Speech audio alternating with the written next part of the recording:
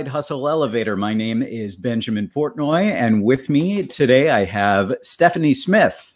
How you doing? I'm doing fantastic, and I didn't really plan that we're color coordinated here. Honestly, I, I totally planned it. I knew what you were wearing. Isn't that crazy? You're a fashion designer. I wanted to uh, make sure we're we're uh, right on the same page. Very cool. Very cool. How you doing? So we uh, we've been having a few little technical issues. If you guys see a glitch here, uh, just trust we'll be back in a second. But uh, we're uh, we're hoping uh, to the the gods of vegan suede that everything will be okay.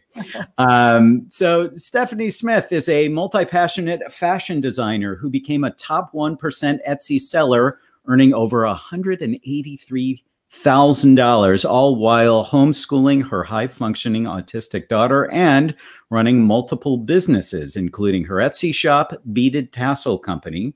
Now she teaches others how to start and grow their Etsy shops with the Easy as Pie or PIE Etsy Shop Workshop. And her mission, I love this, her mission to spark creativity and reset the broken inspiration button on every single human she comes in contact with. That is right. That's awesome.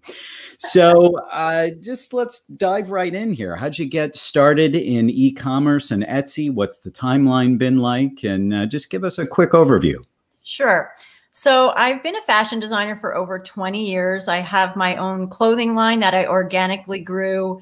Uh, just started with fitness wear. It's called Oh My Bod. And I started that and grew with the, I did the brick and mortar space for 20 years and I'm still in. I have my very last brick and mortar store, which I'm going to be uh, closing in about six months because the rents are getting just outrageous. So I'm yeah focusing everything on you know in online and of course that is the wave of the future.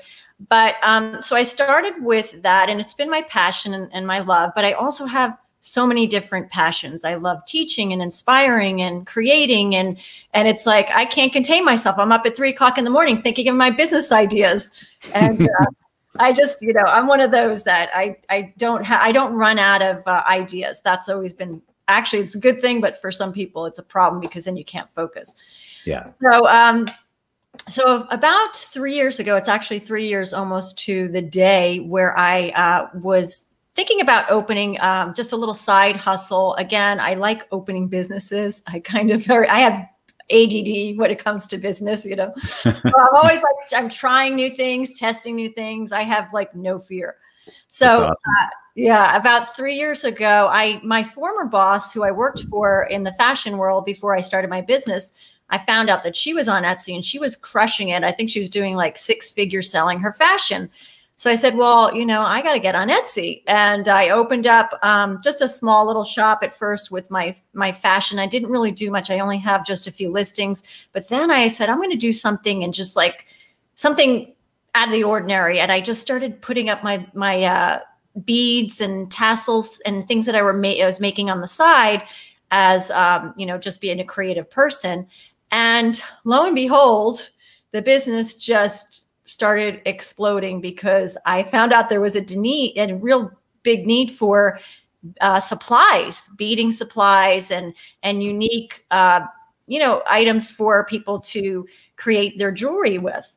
So that grew from nothing, zero, to now almost it's a, about $184,000 in income part time.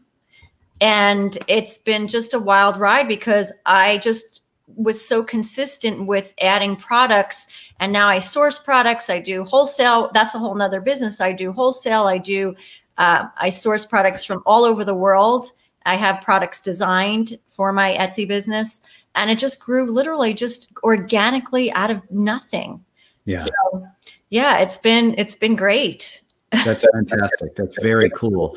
And by the way, if you see me typing here, I'm making notes and coming up with uh, additional questions. So, um, so tell us where do you want to start? That's a, a fantastic intro, but it, it kind of forks the road here. Why don't we? How do you feel about starting with beaded tassel and sure. talking specifically about that? So, uh, you said you identified this need for beading supplies.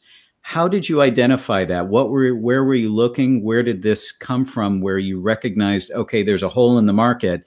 I can take care of this and build a business out of it, even if it's a side hustle. Yeah.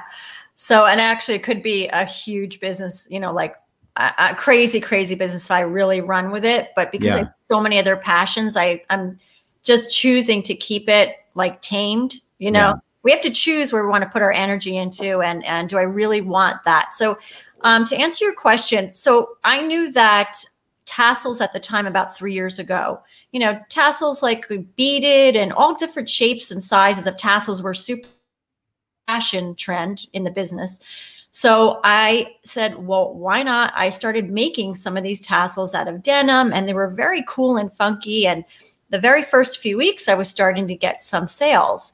And I said, well, this really could be something. And these were people looking to buy these finished tassels and then incorporate them in their designs. Mm-hmm. So when I first started out, as soon as I got my first few sales and then another and then another, and I realized I've got something here. And sometimes that's what you have to do in business. You just have to test and try, test and try. And you know what? And sometimes a lot of things don't work. And then occasionally, right off the bat, you get a home run, you know? Awesome. Yeah. So what I started to do is I committed myself. I said, okay, I am going to commit myself to add just a few products every day until I hit 500. I had 500 at one time products on my shop. And, you know, I believe it's the consistency of putting those products up every day, seeing what's working, and then also filling that hole in the market um, for supplies that attributed to my success. Yeah. Okay. And where I mean, are these being made? Are they? Are you sourcing them? Where is the the actual? Where are the products coming from? So I originally started making a lot of my own products, and plus I had some beads laying around, and I was just selling extra supplies that I had purchased for my jewelry making because I do make jewelry as well for my store. And so it was a combination of everything, and it was kind of just it, I don't know. It just like happened that I just started all of a sudden I started sourcing out. First, I was in, went to China and I saw, uh, I'm working with one company that does fantastic. Know, sometimes you think of China as everything being junky and it's not. Like I work with a fantastic company right now that produces anything that I want to make. Plus, they also have their own line. So, I came from China. Then I, I had someone reach out to me from Turkey, and he makes unbelievable tassels that are um, 14 karat gold plated and just beautiful. And those did really well. So I had someone I'm importing from Turkey, from um, kind of like three, four different countries. And um, so it's a combination.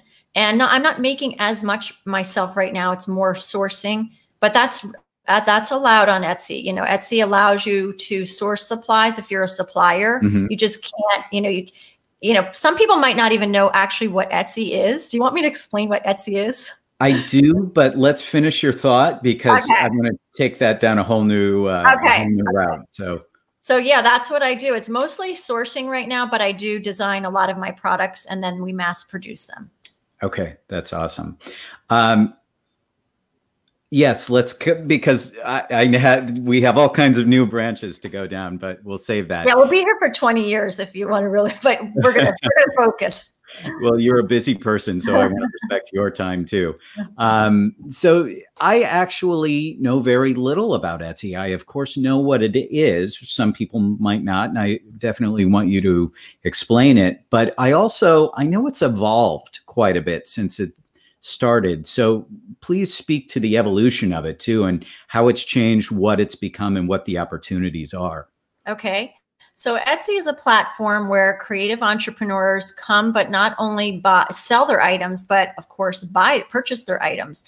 And um, it, has been, it started, uh, I don't know the exact date it started, um, but I do know now that they are publicly traded. I think last year they did about $603 million in uh, revenue. Hmm. and they are growing year over year. And it's what I love about Etsy is that they really are very they they got they have their customer down to a T. The the Etsy platform does not allow you to purchase items like items from China unless it's a supply. They have if it's a finished product, something that you created or your your team created. They're very, very specific. And that's why they have this amazing platform that people truly know it's like a unique handmade product. So they did yeah. really well and they are um, they're growing because they do a lot of personalization. The, the, the creators do a lot of personalization. Think about like invites, um, birth announcements, all those things for parties. You know, that's a huge niche. There's just so many niches on Etsy that you can can go with. But it's a just a fantastic platform and it's free to get started. You can start a shop with zero. So it's really a great way as, as opposed to Shopify paying 30 something a month or some other platforms, you know. Okay, good. And so it's it's easy to start anything, but mm-hmm. you've been succeeding and you coach people on how to succeed. So let's talk about just some little bits as far as that goes. How do you uh, recommend let's start with choosing a niche a niche. What's uh, you've obviously been in jewelry and fashion and clothing for a long time. Let's say somebody's creative but they don't know which direction to go. That's a common problem actually benjamin. Yeah uh, the problem is that people actually have too many interests and they don't focus. So yeah. what I recommend is I have I actually have several courses on this. One is what should I sell on Etsy to help you focus what your passion is combined with what you're good at and what the market is looking for for that win, you know, that that um that like the, the whole thing is the whole package is there. And then in my other um, course that I recently introduced, and we just did a beta, which is actually my students are getting fantastic results, is um, the easy as pie, which is passive income Etsy shop, PIE, the acronym for passive. And that's where you can actually use a print on demand company, another company to fulfill your orders. You just need to design. So it's actually a brilliant way to get started if you don't know what to sell.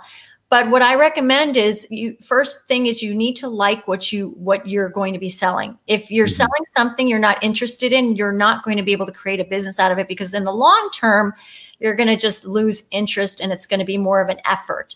So number, yeah, number one, definitely enjoy the, the the theme, the topic, the niche, and then also do your market research. And we dive into that in in my courses about how to do that with keywords and you know research and uh, just looking for those holes in the market or those long tail keywords they call them, where people are more specific in their searches.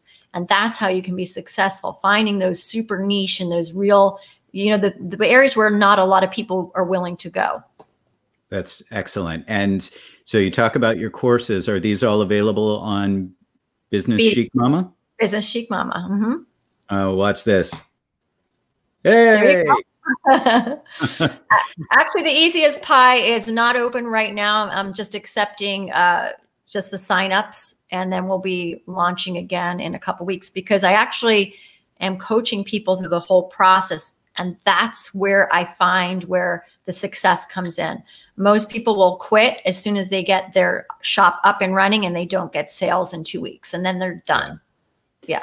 And that's something I want to talk about too. It's I find it's so easy to start things and that really is the failing especially with a lot of how things are taught and marketed and advertising advertised these days that you can start a business in 10 minutes. And it's yeah. like sure. Well i can start running for uh, governor of the state in 10 yeah. minutes. That doesn't yeah. mean i'm going to follow through with it nor that it, would i really want to. Um, but it's that is let's talk about that. When what's the secret to seeing it through especially on dark days? You seem like an exceptionally positive and driven person. Um, how for people who are uh, getting into this, how do you stay that way through the tough times?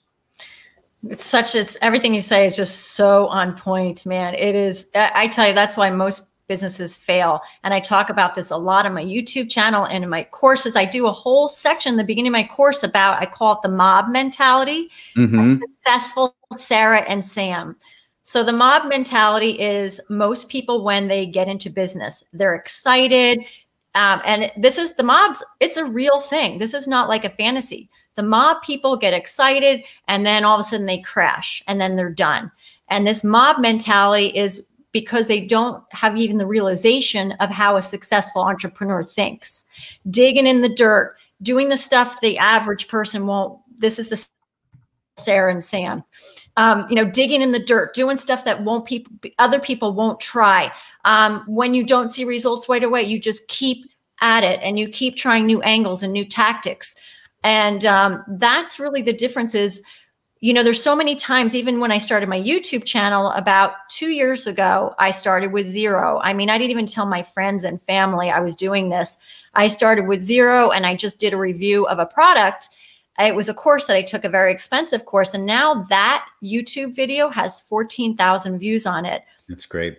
But I'm telling you, two years ago, if I would have quit and never continued, and, and even though I didn't see anything for six months, I don't even think I got 10 followers for three months and now i have over you know it's about almost 13 13 1400 followers and this is again a very side thing that i do this is nothing i promote every day yeah all it is it's the consistent action daily whether it's up or down or anywhere in between no matter what it is you're just committed to your your whatever it is that you're doing do you have any kind of daily uh, affirmations what is it that consistently daily discipline keeps you positive uh, well, um, for me, it's my faith in God and Jesus. Mm-hmm. I'm a Christian, and mm-hmm. I, I tell you what, I talk about the Bible all the time. I'm not ashamed. And even if whatever your listeners are, this is not to be offensive to anyone, but I have to tell you, I my wisdom comes from the Bible. It is insane. I talked the other day. My YouTube video was about uh, talked about sowing and reaping. I it was, saw it. You did it too. Okay. Yeah. So here's the problem. Everyone wants to reap, but no one wants to sow.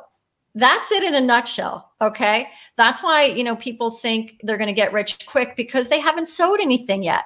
You've got to do the work. You've got, so um, a lot of my faith and my energy, it just comes from my biblical faith and, uh, just knowing that I can make an impact in the world and it's not just to take, take, take. I truly want to give, give, give. And that's my i'm just like fueled to help people i'm fueled to refresh people i'm fueled to inspire people we need that these days i, I feel like the world has become very much about me and taking and uh, the more people can give the more they find success. True.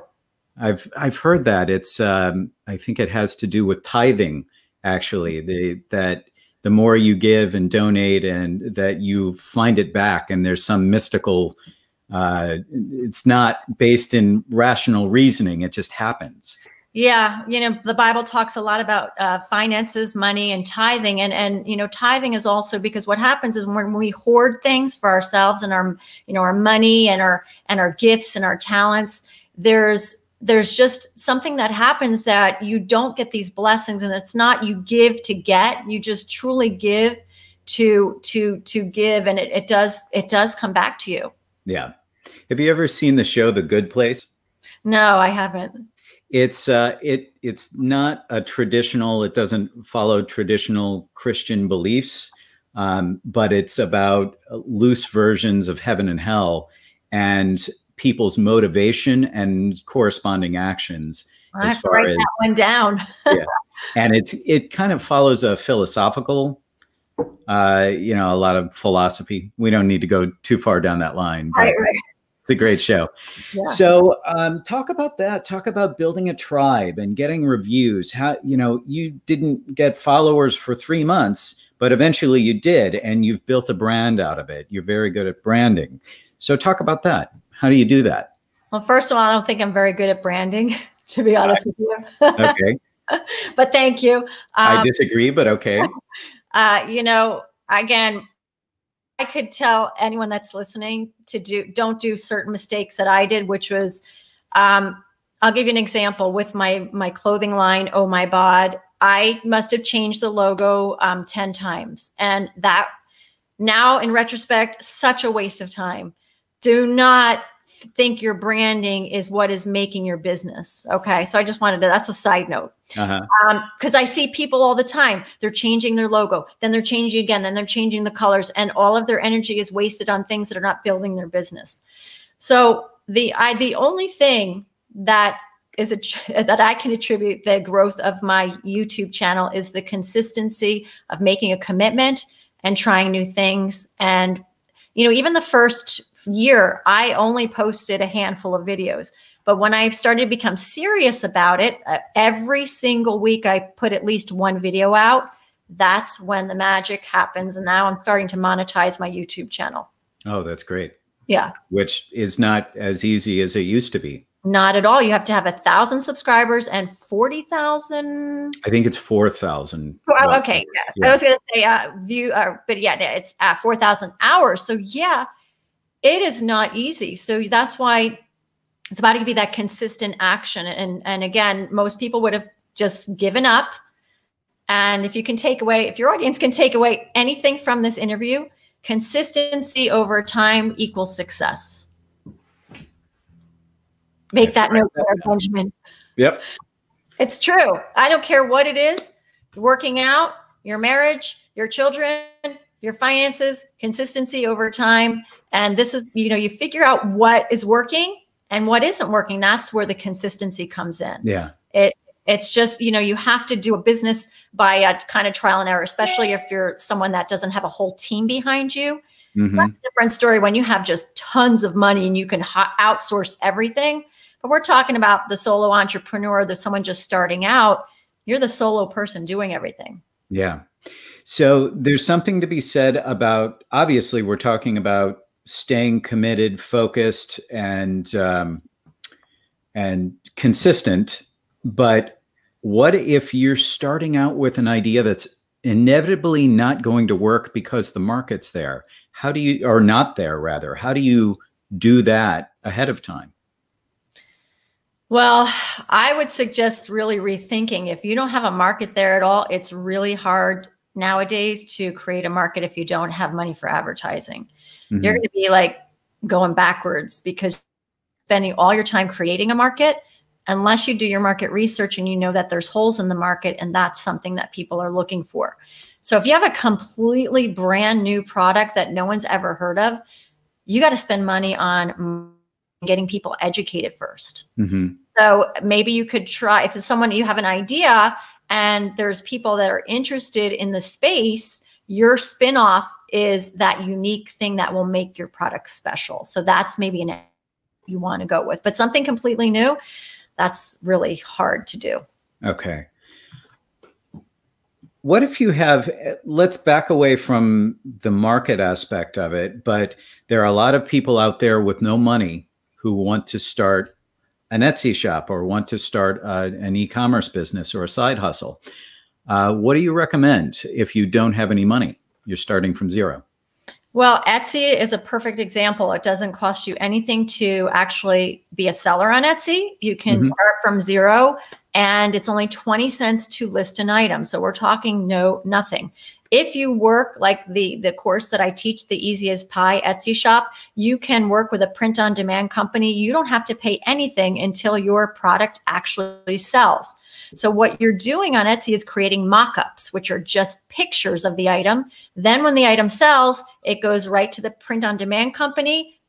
They they print it for you you pay for it and you are not at zero out of pocket until the item sells. And then etsy takes a small fee about 5% and um, and that's it. So that is one call it the zero risk way of starting a business. It really is. It's it's actually probably the easiest way to start a business if you're willing to commit and try new things and and uh, you know just commit to doing what it takes. Yeah. Print on demand is so cool. It's the technology has come so far. Um, let's say you can't pay it, you know, I, some ways to get designs to make print on demand is to go to fiverr.com or to uh, go to upwork.com. But what if you don't have the money to spend on that? What do you recommend as far as getting started? Are there any tools you like? That's what I teach my students. It's it's free. yeah, Canva. You uh-huh. can do all your designs on Canva, and there's also PicMonkey and uh, those are the two i don't i don't outsource my designs i do them right on those two i actually i in my in my course the easy as pie etsy shop i actually started a brand new etsy shop mm-hmm. to show everyone how to do it from from the inception of the idea all the way through to now i have already made organic sales in the past month. It's only been a, um, my course has only been open about a month, my beta, and I have uh, several students already making sales. And not everybody is making sales, but we're figuring out why with all the mm-hmm. members and everything. So it's all tight knit community right now, and it's amazing. So yeah, everything can be done basically on a dime.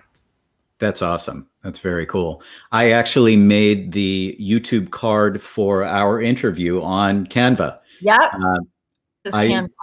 yeah. I was an Adobe guy for 20 years and I still use it. I use Photoshop and InDesign and Illustrator all the time. But Canva has, it's not making those things obsolete, but just for the, the casual user who just needs something done, it's sure. so easy. It's great. It truly is. And if you don't know about Canva, it's free to sign up. There is a, an upgrade, but it's an amazing platform for your Instagram photos, your YouTube cover, anything you want. You can do an invitation, you can do a book cover. Um, it is, it's a game changer. Everybody uses it. Yeah, absolutely. Okay, um, we're hitting a lot of these these uh, questions. What? It, well, here's one. What do you think about? uh, going to influencers as far as uh, sending you, you create something you want a mention from somebody who's a youtube influencer or a social media influencer pinterest um, what do you think about uh, leveraging influencers well, I personally don't use influencers for my business, but I do research a lot because I actually am on Pinterest um, with a nice following, about 25,000 uh, that's great. Not followers, but that's where my views are. Okay. And Pinterest is a huge, huge opportunity because, you know, Pinterest, when you pin something, it stays alive for months, even a year or two. Your pin could stay living forever. So if you learn how to do Pinterest correctly, which is optimizing your pins and um, there's like a whole nother you know that's a whole nother interview. But pinterest is an amazing way to get eyes on your products. Um, influencers of course obviously they work but i think you need to know what you're doing. Maybe you need you know first of all probably need to just start asking the influencers if they want to work with you but a lot of influencers won't work with like small companies you know if they're really big. So definitely a lot of testing involved and i say anything goes in business what works for one person may not work for another person. So you've got to do a lot of testing in your business and see what works and get into your groove. So be willing to try different things research them obviously. Okay. Yeah. Um, give us like you said, Pinterest could be its own interview yeah. Uh, or course. Um, but give us some best practices, uh, just sort of the maybe the 30 second version of how to use Pinterest to get more eyeballs. Sure. In a nutshell, okay, so Pinterest, everybody thinks Pinterest is like just, you know, you put up a picture and then you pin it because you like it. But there's actually a strategy behind Pinterest, and a lot of the bloggers are they are on that like white on rice. I'm telling you, it is crazy because you can put a link on your on your uh, pins to go wherever you want. So what you would do is if you want to optimize Pinterest, probably set up a business account and this way you can your pins are more optimized. And you want to have they're called like long pins which are like instead of just little short pictures so this way they take up more of the page. That would be a good practice is to start creating pins on canva that are long with nice big um, you know words so people can see it. And then um, you want to use keywords just like google you know google would use because actually pinterest is a search engine people don't realize that they think it's it's just like social media. It's not. It's actually a search engine. So if you optimize all of your tags and your keywords for to being found like let's say i am selling you know beads and tassels i would be putting in the very first you know word the first 40 characters you know beads and tassels and I would put it in a nice way that people can read it, you know, not mm-hmm. just like beads and tassels and keyword stuffing, but um, are you looking for interesting beads and tassels for your craft? That would make be the first line. And then you drive them right to your Etsy shop or your website through your link. You're allowed to have the link And that has been fantastic. I get most of my blog traffic from Pinterest. That's terrific for uh, your business blog. chic mama. Yes, uh, that's I. Business Chic Mama consists of YouTube channel, um, you know, my courses, and also um, my, you know, just a little couple of different blogs and a little bit of everything. It's kind of multi. It it evolved again from just nothing, and I just kind of just kept putting stuff out there. So, yeah. yeah. How about you have so much going on? How about other tools? How do you stay organized? Is it to do lists? Is it what do you do? I need to learn how to use Trello because I, you know, honestly, I don't even know how I, I I'm going to be honest with you. Don't follow my advice when it comes to organization because I am the I'm not organized at all. um, I'm organized. It's weird. In my thoughts, what I do is I don't have a to-do list. It's kind of this mental list. Mm. Again, I probably wouldn't recommend this for most people, but I have been in business for 20 years, so I kind of can manage my mind. But honestly, um, this mine is like this to-do list. If you can do one or two tasks every day that will move your business forward you're doing fantastic. So i focus on like let's say today we're doing our interview and i'm probably going to do a facebook live. That is the main thing for my business that i'm going to focus on because that i will put it onto youtube and then the whole ball will be rolling so, you know, there's so many ways to organize and I definitely I haven't checked out Trello. Have you heard of Trello yet? Heard of it, I haven't used it. Though. Yeah, everyone's like raving about it. So cuz you, can put on your daily tasks, you can outsource them and you can move them mm. around. I definitely want to check that out because when I do want to become organized, I'm going to use Trello. Yeah. But everyone has their own system. I would just would recommend if you have too much on your to-do list, it gets overwhelming just pick one thing you need to do to move the needle forward for the yeah. day. And that's all it, and then you don't feel overwhelmed. It's like, oh, I did my task. Let me do something else. And that's yeah. kind of it's this mental game. That's good. I uh, would be completely useless without my to-do list. I oh. actually use an app called Todoist. Uh-huh. And I at one point switched browsers because they had, I think it was a uh, Firefox extension, and I switched browsers because it was so good, and I love it. It really keep it allows you to. Uh, but this this is very much a uh, a product placement that we're not getting paid for kind of interview, yeah. um, but it's it's something where it allows you to prioritize one, two, three, four, and you can look at it based on projects that you program into it, and it, it's fantastic yeah, tool. I got it. I always figure like, oh, by the time I get everything or uh, I've already would have done it. And that's my, and I know it's, that's not a good way of thinking, but I have managed to have, you know, dozens of employees at one time and multiple stores. And so whatever it is, it's working for me. yeah, that's very cool. I wish I had a brain like that. um, so this, this has all been really good. We're just past 30 minutes. Um, one thing I do want to hit before we start to wind things up is when you're starting a business like this, let's say on Etsy, uh, you're going to put time into it, you're going to put effort into it. What are realistic expectations as far as ROI or even just as far as revenue? Um, it, you know, you can be sold a, a dream of making a million dollars, but realistically, what should you be expecting within three, six, 12 months, two years, five years? How should you go into it? Well, I think, again, most people, if they're starting out and they have no idea even what an email list is or how to scale their business or grow their business, uh, you know, you shouldn't be expecting to make, you know, thousands and thousands a month on Etsy in the beginning. I mean, I did get I want to say I did get lucky because I hit the niche right. I was consistent with my products and I did fantastic. You know, now I'm a little bit on the decline because I'm not focusing my energy so much. I'm focusing it on growing this business. Mm-hmm.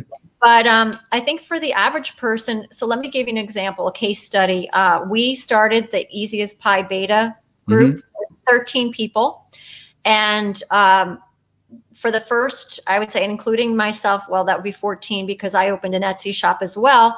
And in a different, you know, it's business chic mama, but it's not it, it's kind of just inspiration and it's nothing really specific. I just wanted to kind of open a shop up. Yeah. And so you know people are are starting and they're they really have nothing they really are starting from ground zero so you cannot expect to make dozens and dozens of sales in your first month it's just not going to happen but so for example i have one girl that uh, she opened uh, it's called dance flip cheer and she is focusing on all that whole niche which actually we're finding out is a really good niche because she's already made I think it's about 13 sales in the past mm-hmm. few weeks. Now we are going into Christmas, and that does, you know, that definitely is consideration. We have to think about those things. But realistically, I think you can make, you know, several, probably several dozen sales in the beginning if you find the right niche, if you find products that are people are looking for, but I also have another girl who opened this fantastic shop with printables, beautiful floral prints, and she's been working it just like we've been doing in the uh, in the course. And she hasn't made she has some friends and family sales but not an organic sale yet. Yeah. and we're we're trying to figure out what is going on because she is getting views in her shop but no sales yet. But we're going to figure it out. And that's the difference between people not working with a coach and people that just will like throw the idea out of the window. You know they're like oh this isn't working. We're going to figure out why you know what is it is it the price point? Is it are there not enough photos or are the descriptions wrong? Why are people is it not converting? So that's um, two examples in uh, with my my students just so you can see. And then i had another girl that just made her first sale. So um, if you're willing to now once you get your whole you know you know there's interest there you've made a few sales. If you're interested in a strategy which would be okay I have my sales. I kind of know my market now. Let me continue to add products and see what's working. And now let me add an email list. Let me go ahead and do Pinterest, or maybe I'm going to do my social media and get all these touch points out to the web. So then you can start driving traffic to your Etsy shop. And that's more of a strategy instead of just those tactics. You know, yeah. that's what I'm probably going to talk about if I do my Facebook Live strategy versus tactics. Awesome. Very good. So I we've hit a lot of touch points here. You have a fast talker, right? no, it's been fantastic. So um, let's wind up with a couple questions here. This is what I like to ask everybody. Number one, uh, what music gets you through the day? Uh, let's see. When I uh, I love worship music. Mm-hmm. I never thought I'd ever say that. That's the funniest thing in the world. Like, I um you know, I, I love all. I'm actually a pianist as well. I, I actually cool. took ten years of classical piano uh, when I was growing up. So uh, I love all kinds of music. But lately, just listening to the words of worship music, like mm-hmm. it's like it's so inspiring because you realize you're not alone in your battle. That's what a lot of Christian music is is really about. That being you know that down in the dumps but then how god lifts you up and it's so inspiring because you realize you're not alone you know? Everyone is fighting a battle and that's where i just like to refresh people. That's like i know someone's hurting and i want to kind of refresh people. So i have an interesting uh, story to go with that. I'm a i've been a drummer since i was 13 years old and now i'm 21 so it just kidding. Um, i was going to say well you know you could look like you're 21 seriously. Thank you. Um, it's been i'm 42 this year and i've been a drummer for a long time. I've played a lot of different places and a lot of those places have been bars. And when you go to a bar and you're there all night and people are drinking it is a it's fun but it's also kind of an illusion in oh, yeah. some ways. And people are releasing. They've had a hard week.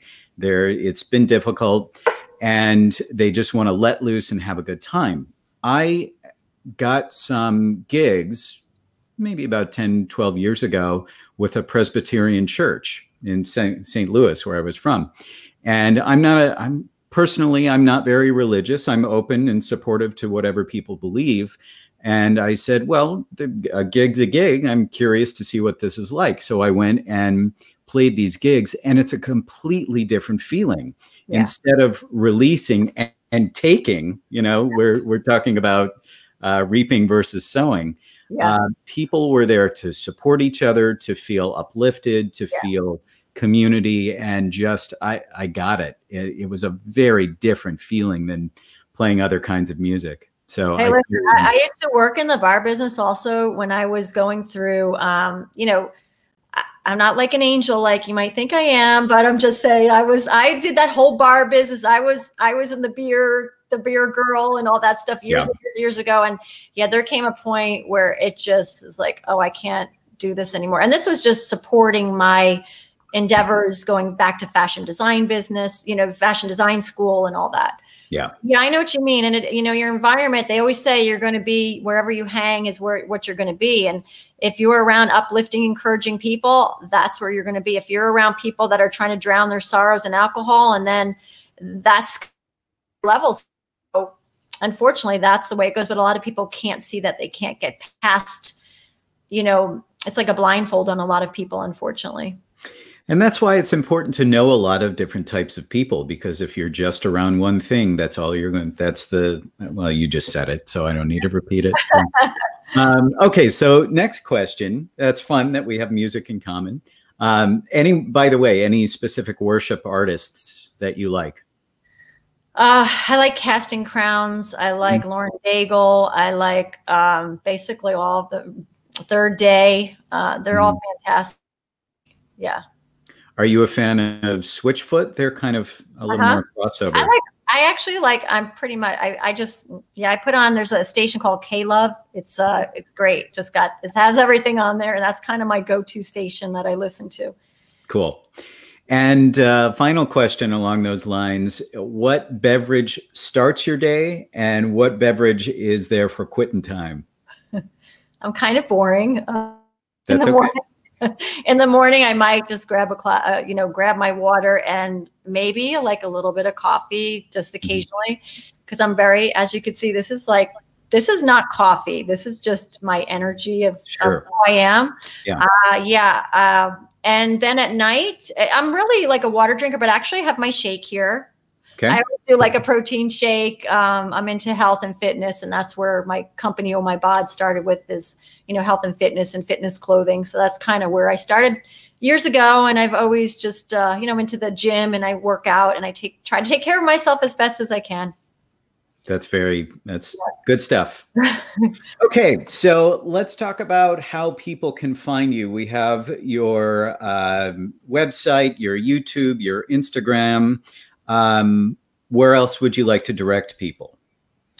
That's it. You know, I I'm always available. I try to answer all of my, you know, someone's asking me a question on YouTube or whatever social media platform or my or even my uh, website. I try to answer every single question that comes in. I just feel it's, you know, as being a, a business owner, you've got to be responsible. When people are asking you something, you got to respond. So yeah. those of you that aren't doing that, you know, shame on you get outsourced it if you can't do it yourself. You don't leave yeah. people hanging. So yeah, you can find me on any of those and uh, love to connect with you. And if anyone is listening over audio, why don't you tell us what okay. we have on uh, screen here? Oh yeah, it's uh, businesschicmama.com, uh, Business Chic Mama on YouTube, Instagram. I'm not really so much right now. My game isn't Instagram so much, Business Chic Mama, even though I do have a little presence. I'm just not posting so much, but that will probably change as I continue to grow my touch points across the web. Very good. And um, anything else you'd like to add before we wrap up here?